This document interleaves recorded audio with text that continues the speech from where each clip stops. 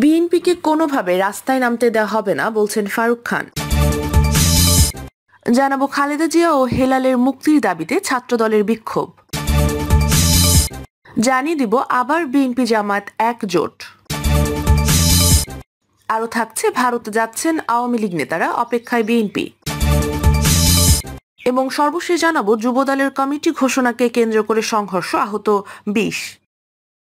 শুনছিলেন সংবাদ শিরোনাম, এবারে বিস্তারিত। বিএনপিকে কোনোভাবে রাস্তায় নামতে দেওয়া হবে না বলছেন ফারুক খান। বিএনপিকে কোনোভাবে রাস্তায় নামতে দেওয়া হবে না বলে মন্তব্য করেছেন আওয়ামী লীগের সভাপতি মণ্ডলীর সদস্য লেফটেন্যান্ট কর্নেল মোহাম্মদ ফারুক খান। তিনি বলেন, বিএনপিকে আমরা চিনি, বারবার দেশটাকে ধ্বংস করার চেষ্টা করেছে। তারা বারবার বাংলাদেশকে ছোট করেছে। ফারুক খান বলেন, আপনারা হয়তো একাত্তর দেখেননি, কিন্তু দু হাজার এক থেকে দু হাজার ছয় সাল পর্যন্ত বিএনপির আমল দেখেছেন। তাদের আমলে বাংলাদেশের কোনো উন্নয়ন হয়নি। শায়ক আব্দুর রহমান, বাংলা ভাই, পাঁচশো জায়গা বোমা হামলার মতো ষড়যন্ত্র আমরা দেখেছি। ছিয়ানব্বইতে শেখ হাসিনা যে উন্নয়ন প্রকল্পগুলোর কাজ শুরু করেছিলেন, সেগুলো বিএনপির ক্ষমতা এসে বন্ধ করে দিয়েছিল। তিনি বলেন, বঙ্গবন্ধু বলেছেন, সোনার বাংলা গড়তে হলে সোনার মানুষ চাই বাংলাদেশের যুবলীগ, ছাত্রলীগ হচ্ছে সোনার মানুষ। আপনারা হলেন সেই সাহসী মানুষ। বাংলাদেশে সাহসী মানুষের দরকার। এদেশে বারবার ষড়যন্ত্র হয়েছে। বঙ্গবন্ধুর আমলে ষড়যন্ত্র হয়েছে, শেখ হাসিনার আমলে ষড়যন্ত্র হচ্ছে। শেখ হাসিনাকে হত্যা করতে বারবার ষড়যন্ত্র করা হচ্ছে।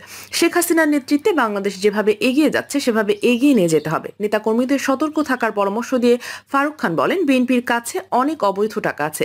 একেবারে বিশ্বাস করি না বিএনপি ক্ষমতায় আসবে, কারণ বাংলাদেশের মানুষ বিএনপিকে আর ক্ষমতায় আনবে না। আওয়ামী লীগের নেতা বলেন, আমরা আমেরিকার রাষ্ট্রদূতের সঙ্গে মিটিং করেছি, তারা একটি সুষ্ঠু নির্বাচন চেয়েছে। আমরা বলে এসেছি যে, প্রধানমন্ত্রী শেখ হাসিনা একটি সুষ্ঠু নির্বাচন চান। আমি বিশ্বাস করি আগামী নির্বাচন আমাদের জন্য খুবই গুরুত্বপূর্ণ। আমাদের সন্তানের জন্য গুরুত্বপূর্ণ, আমাদের আগামী প্রজন্মের জন্য গুরুত্বপূর্ণ ও বাংলাদেশের জন্য গুরুত্বপূর্ণ। খালেদা জিয়া ও হেলালের মুক্তির দাবিতে ছাত্র দলের বিক্ষোভ।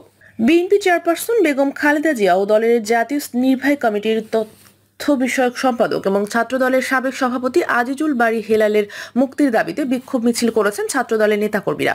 বিএনপি চেয়ারপারসন খালেদা জিয়া দুহাজার আঠারো সালের আট ফেব্রুয়ারি থেকে কারাবন্দী। আর আজিজুল বাড়ি হেলাল ডুমুরিয়া থানার একটি মামলায় হাইকোর্ট থেকে আগাম জামিন নেওয়ার পর বৃহস্পতিবার সাতাশ এপ্রিল খুলনা জেলা আদালতে আত্মসমর্পণ করেন। খুলনার জ্যেষ্ঠ দায়রা জজ আদালতের বিচারক মীর শফিকুল আলম তাকে সহ আট জনের জামিন আবেদন নামঞ্জুর করে জেল হাজতে পাঠানোর নির্দেশ দেন। চলতি বছরে এগারো ফেব্রুয়ারি রাতে ডুমুরিয়া থানার উপপরিদর্শক তারেক রায়ান বাদী হয়ে আজিজুল বাড়ি হেলাল সহ আঠারো বিএনপি নেতাকর্মী নামে মামলা করেন। বিএনপি জামাত একজোট। দুই হাজার আঠারো নির্বাচনের পর থেকে বিএনপি জামায়াত সম্পর্কের মধ্যে ফাটল দেখা দিয়েছে। উনিশশো ছিয়ানব্বই নির্বাচনের পর বিএনপির চার দলীয় জোট গঠন করে এবং এই জোটের দ্বিতীয় বৃহত্তম দল হিসাবে জামায়াত গুরুত্বপূর্ণ হয়ে উঠেছে। ছিয়ানব্বই নির্বাচনের পর থেকে বিএনপি জামাতের সম্পর্কের ঘনিষ্ঠতা বাড়তে থাকে। দুই হাজার একের নির্বাচনের বিএনপি জামায়াত ঐক্যবদ্ধভাবে অংশগ্রহণ করে এবং ওই নির্বাচনে বিএনপি জামাত জোট দুই তৃতীয়াংশের বেশি আসন পেয়ে বিজয়ী হয়। তখন বেগম খালেদা জিয়া জামাতের দুইজন ঘৃণিত যুদ্ধাপরাধীকে মন্ত্রী বানান এবং তাদের গাড়িতে শহীদের রক্তে ভেজা জাতীয় পতাকা তুলে দেন। মতিউর রহমান নিজামী এবং আলী হাসান মুজাহিতে বিএনপি জামায়াত জোট সরকারের প্রভাবশালী দুই মন্ত্রী ছিল। জামাতে বিএনপির এই সক্ষতা দুই পর্যন্ত অব্যাহত ছিল। এমনকি যখন সরকার দুই সালের নির্বাচনের পর যুদ্ধাপরাধীদের বিচার কার্যক্রম শুরু করে, তখন বেগম খালেদা জিয়া এর বিরোধিতা করেছিলেন। তিনি সিলেটের এক জনসভায় আলেম ওলাদার দের বিনা বিচারে গ্রেফতার করা হয়েছে বলে অভিযোগ করেছিলেন। বিএনপির পক্ষ থেকে যুদ্ধাপরাধের বিচার নিয়ে এক ধরনের রহস্যময় নিরাপত্তা পালন করা হয়েছিল। কিন্তু জাতীয় এবং আন্তর্জাতিকভাবে বিএনপি জামায়াত সম্পর্ক নিয়ে নানা সমালোচনা শুরু হয়। এসব সমালোচনা সত্ত্বেও দুই হাজার আঠারো নির্বাচনে বিএনপি জামায়াতকে বিশটি আসন উপহার দেয়। এটি নিয়ে আন্তর্জাতিক পরিমণ্ডলে বিশেষ করে পশ্চিমা মহলে ব্যাপক সমালোচনা হয়েছিল। উল্লেখ্য, যুদ্ধাপরাধীদের বিচারের পরপর জামায়াত নির্বাচন কমিশন থেকে নিবন্ধন হারায় এবং তারা দলীয় প্রতীকে নির্বাচন করার যোগ্যতা হারিয়ে ফেলে। এরকম পরিস্থিতিতে বিএনপির উপর ভর করে বিএনপির পরগাছা হয়ে জামায়াত রাজনীতিতে টিকে থাকার চেষ্টা করে। শীর্ষ পর্যায়ের সব নেতা যুদ্ধাপরাধীর দায়ে দণ্ডিত হওয়ার পরেও জামায়াতের তৃতীয় চতুর্থ সারির নেতারা মূল নেতৃত্বে এসে বিএনপির সঙ্গে সম্পর্কে ধারা অব্যাহত রাখে। কিন্তু দু হাজার আঠারো নির্বাচনের পর আস্তে আস্তে জামায়াত থেকে দূরে সরে আসতে শুরু করে বিএনপি। বিশেষ করে পশ্চিমা দেশগুলোর অনুগ্রহ পেতে জামায়াতের সঙ্গে এক ধরনের রহস্যময় সম্পর্ক করে। এ সময় দুই দলের সম্পর্কে টানাপোড়েন সৃষ্টি হয়। জামাতও গত বছর আনুষ্ঠানিকভাবে জানিয়ে দেয় যে আঠারো নির্বাচনের পর তাদের মধ্যে সম্পর্ক নেই। এর মধ্যে বিএনপি বিশ দলীয় জোটকে আস্তে আস্তে নিষ্ক্রিয় করে দেয় এবং নতুন জোটের সন্ধানে নানা রকম রাজনৈতিক মেরুকরণ শুরু করে। অন্যদিকে জামায়াত একলা চলো নীতি নিয়ে বিভিন্ন সাংগঠনিক তৎপরতায় ব্যস্ত সময় কাটে। সাম্প্রতিক সময়ে আবার বিএনপি জামায়াতের যোগাযোগের খবর পাওয়া যাচ্ছে, তবে এই যোগাযোগ অত্যন্ত গোপনে করা হচ্ছে বলে ধারণা করা হচ্ছে। আগামী জাতীয় সংসদে নির্বাচন নিয়ে বিএনপি এবং জামাতের পরিকল্পনার মৌলিক পার্থক্য রয়েছে। বিএনপি যেমন বলছে নির্দলীয় নিরপেক্ষ তত্ত্বাবধায়ক সরকার ছাড়া তার কোনো নির্বাচনে যাবে না। ঠিক তার বিপরীত অবস্থান গ্রহণ করেছে তাদের অন্যতম প্রধান মিত্র, একাত্তরের পরাজিত শক্তি জামাত। জামাত তাদের সর্বশেষ মজলিসে সুরার বৈঠকে আগামী নির্বাচনে অংশগ্রহণের ব্যাপারে ইতিবাচক সিদ্ধান্ত গ্রহণ করেছে। সংগঠন টিকিয়ে রাখার জন্য এবং অস্তিত্বের প্রয়োজন এবং সরাসরি জনগণের সঙ্গে সম্পৃক্ত হওয়ার জন্য জামাত নির্বাচনে যাবে বলে একাধিক দায়িত্বশীল নেতা নিশ্চিত করেছেন। আর এই নির্বাচনে যাওয়ার পরিকল্পনার অংশ হিসাবে বিএনপি জামাতের নতুন করে যোগাযোগ তৈরি হয়েছে। তবে একটি সূত্র বলছে, বেগম খালেদা জিয়া জামাতের ব্যাপারে আগ্রহী এবং তিনি জামাতের সঙ্গে জোট ভেঙে দেওয়ার বিষয়টিকে মোটেও পছন্দ করেনি। ঈদের দিন তিনি স্থায়ী কমিটির নেতাদের সঙ্গে যখন বৈঠক করেছিলেন, তখন তিনি জামাতের সঙ্গে আবার নতুন করে জোটের পরিকল্পনা এবং জামাতকে বাদ না দেওয়ার পরামর্শ দিয়েছিলেন। এরপর থেকে বিএনপিতে জামাতপন্থী কোনো কোনো নেতারা নতুন করে জামাতের সঙ্গে যোগাযোগ শুরু করেছেন। বিএনপি এখন বিভিন্ন রাজনৈতিক দলগুলোকে নিয়ে একটি অভিন্ন প্ল্যাটফর্ম গঠনের চেষ্টা করছেন। সেই অভিন্ন প্ল্যাটফর্মের বাইরেও আবার বিশ্ব দলীয় জোটকে পুনরুজ্জীবিত করার ক্ষেত্রে কেউ চেষ্টা করছেন বলেও দায়িত্বশীল কিছু সূত্র জানান।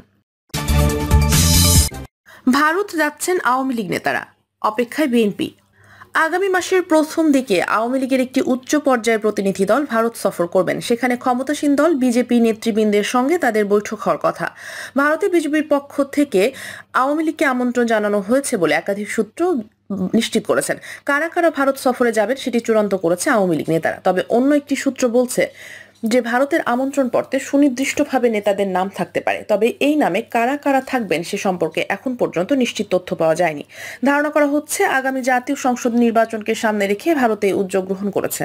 আর এই উদ্যোগ সাড়া দেওয়ার অপেক্ষায় রয়েছে বিএনপি।